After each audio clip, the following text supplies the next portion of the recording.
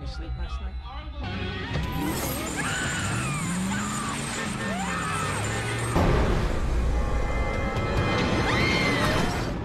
तो social media का chain letter आज के दिन में कितना बुरा हो सकता है?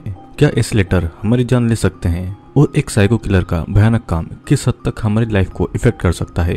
यही आपको आज इस कहानी से पता चलेगा।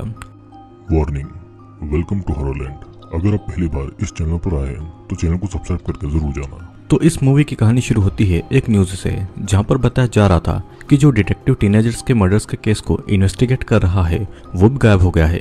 अब हमें एक टीनेज लड़की दिखाई देती है, जिससे किलर चेन से बाँध रहा था और उसका पूरा मुँह ही टेप से कवर था। लड़की को जब होश आता है तो देखती है कि उसे चेन से बाँध कर रखा गया है और वही चेन दो कार पर लगी हुई थी और उस घर के दोनों कपल ऑफ़िस जाने के लिए दोनों कार में बैठ जाते हैं। जैसे ही वो कार चलाते हैं, वो लड़की भी ज़मीन पर घिसती हुई खींचती चली जाती है। वो लेडी लड़की को नोटिस करके कार को रोक लेती है, लेकिन वो आदमी अनजाने में कार के साथ लड़की को घसीटता हुआ ले जाता है। फिर हमें न्यूज़ में आजकल की टेक्नोलॉजी के बारे में बताया जा रहा था, जहाँ पर टेक्नोलॉजी के आड़ में दूसरे के अकाउंट को हैक किया जा रहा था और उनका गलत फ़ायदा उठाया जा रहा था। फिर उसी सिटी में एक लड़की रहती है, जिसका नाम जेसी था। उसकी रेचल नाम की एक दोस्त भी थी। दोनों को हमेशा इंटरनेट की डेटिंग साइट से फेक आईडी के लोग ही मिलते हैं। और अगले दिन, कॉलेज में हम जेसी के बाकी के दोस्त, माइकल और जॉनी को देखते हैं। उसी कॉलेज में रेचल का भाई नील भी पढ़ता था और दोनों के बीच में हमेशा से ही झगड़ा हुआ करता था। कॉलेज में डांटे भी पड़ता था, जो कि जेसी को बहुत ज़्यादा पसंद करता था। वो अपनी एक कार बना रहा था और जब भी वो कार रेडी होगी, वो सबसे पहले उसमें जेसी को कार में बिठाने का प्रॉमिस करता है। अब उसी दिन कॉलेज में प्रोफेसर उन सबको टेक्नोलॉजी के गलत कामों के बारे में बताता है कि कैसे कोई भी उनका एड्रेस निकाल सकता है। लेकिन स्टूडेंट्स इन सब पर ध्यान नहीं दे रहे थे। अब रात को नील को अपने कंप्यूटर में एक मैसेज के ज़रिए एक चेन लेटर मिलता है और अगर वो इस लेटर को किसी को भी सेंड नहीं करेगा तो वो मारा जाएगा। अगर आपको चेन लेटर नहीं पता है तो मैं आपको बता दूँ, ये कुछ ऐसे लेटर या मैसेजेस होते हैं जिनको हमें बाकी लोगों को फॉरवर्ड करना होता है। नहीं तो उसके बदले में कुछ हमारे साथ में बुरा होगा। अगर नील इस लेटर को किसी को भी नहीं भेजेगा तो मारा जाएगा। फिर नील उस लेटर को डिलीट करने वाला था और तभी वहाँ पर रेचल ईमेल टाइप करने के लिए आती है और वो उस चेन लेटर को देख लेती है। वो पाँच लोगों को वो लेटर सेंड करने वाली थी कि तभी नील वहाँ पर आकर उसे रोक देता है। लेकिन गलती से नील के हाथों पाँच लोगों को वो लेटर चला जाता है। वो लेटर जॉनी को मिलता है, लेकिन वो तुरंत उसे डिलीट कर देता है। माइकल और जेसी को भी वही लेटर मिलता है। और डंटे का कोई फ़ोन नहीं था तो उसे कोई लेटर नहीं मिलता है। लेकिन फिर भी जेसी उस लेटर को डंटे को ईमेल पर भेज देती है। अब रात में, जॉनी को जिम में पता लगता है कि केविन को भी वही चेन लेटर मिला है, और केविन भी उस लेटर का मज़ाक बना रहा था। कुछ समय के बाद में, जॉनी जब पानी पी रहा था तो किलर वहाँ पर आकर उसे मारकर उसे बेहोश कर देता है। और फिर उसे चेन से बुरी तरह लटका देता है। डांटे को भी वो लेटर मिलने पर वो उसे स्पैम मैसेज समझकर उसे डिलीट कर देता है। और किलर को फ़ौरन ये पता लग जाता है कि डांटे ने मैसेज को डिलीट कर दिया है। अब अगले दिन पुलिस और डिटेक्टिव क्रेन शॉ दोनों को जॉनी की लाश मिलती है और जिस चेन से जॉनी को मारा गया था, वो कभी भी जिम में नहीं थे। इस तरफ़ डंटे अपनी कार को बनाने में लगा हुआ था और उसको कार में कुछ खराबी महसूस होती है। वो कार से उतर कर देखता है तो उसे कार के इंजन से ऑयल लीक होता हुआ दिखाई देता है। वो चेक कर ही रहा था और तभी किलर एक भारी चीज़ की चेन काट देता है और वो चीज़ डंडे के सर पर आ गिरती है और सिर के फटने से वो वहीं पर मारा जाता है। अब धीरे धीरे एक हफ़्ता बीत जाता है, लेकिन फिर भी डिटेक्टिव और पुलिस को किलर का कोई भी क्लू नहीं मिलता है और यहाँ पर हमें पता लगता है कि जोनी का दोस्त केविन भी अब मिसिंग है। अब अगले दिन उस प्रोफेसर के लेसन से जेसी किसी बात को नोटिस करती है। इधर क्रेनशो ब्रेडबोर्ड से उन चेन्स के बारे में पूछता है। ब्रेडबोर्ड ने उन चेन्स को देखा तो था, लेकिन उसे कहाँ देखा था, उसे कुछ नहीं पता था। इधर जेसी पता लगा लेती है कि उसके दोस्त में से किसको चेन लेटर मिला है। वो रेचल को भी सावधान करने के लिए कॉल करती है। लेकिन रेचल उस टाइम नहा रही थी। फिर वो नील को कॉल लगाती है, पर नील उस टाइम गेमिंग सेंटर में बिज़ी था। लेकिन जैसे की बातों में परेशानी देखकर वो फ़ौरन उससे मिलने के लिए जाता है। इधर रेचल जब नहा रही थी तो उसे घर में किसी के होने का एहसास होता है।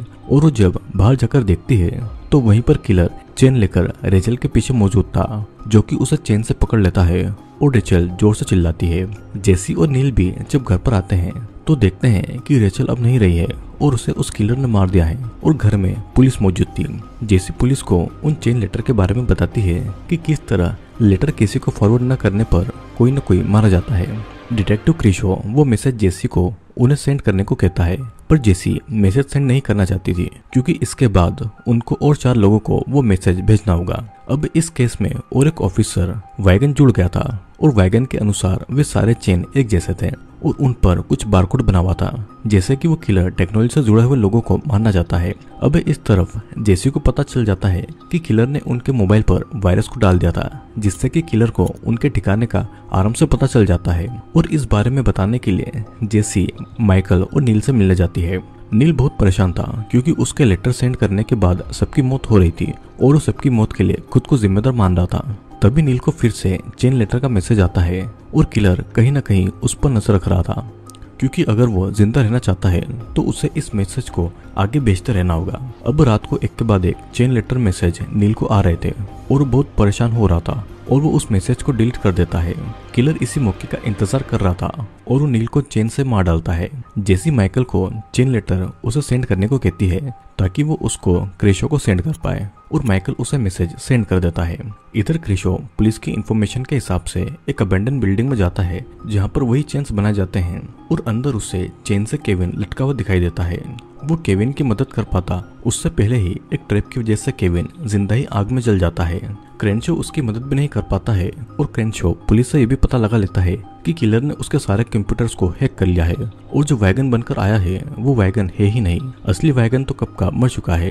तब जाकर क्रेशो को बारबट की बातें याद आती है कि किस तरह किलर टेक्नोलॉजी से ज़्यादा जुड़े हुए लोगों को ही मार रहा है। तभी किलर उसके पीछे आता है और चेन से उससे भी मार डालता है और इन सबसे पीछा छुड़ाने के लिए जेसी अपने फ़ोन को तोड़ देती है। लेकिन इससे पहले ही खुद बचने के लिए माइकल ने उस चेन लेटर को जेसी को सेंड कर दिया था। जो बात जेसी को पता भी नहीं थी अब रात को जेसी को बहुत भयानक सपने आ रहे थे और वो अपने कपड़े बदलकर फिर से सो जाती है। अब अगली सुबह मूवी की शुरुआत वाली सीन दिखाई जाती है, जहाँ पर डिटेक्टिव क्रिचो के मिसिंग होने के बारे में और जेसी की मौत के बारे में बात की जा रही थी। और ये मूवी की शुरुआत में कार के घसीटने से जिसकी मौत हुई थी, वो और कोई नहीं, जेसी थी। और अनजाने में जेसी के पेरेंट्स ही जेसी को बुरी तरीके से खींच रहे थे। और जेसी की बॉडी के कई सारे टुकड़े हो चुके थे, और इसी के साथ में ये मूवी ये पेंड होती है।